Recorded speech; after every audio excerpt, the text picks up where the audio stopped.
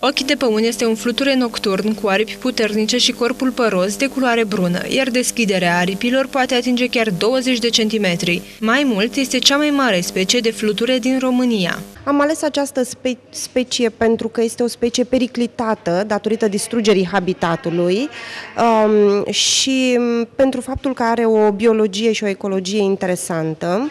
Mă refer la faptul că adulții trăiesc um, doar um, câteva zile pentru că nu se pot hrăni, nu au aparat bucal.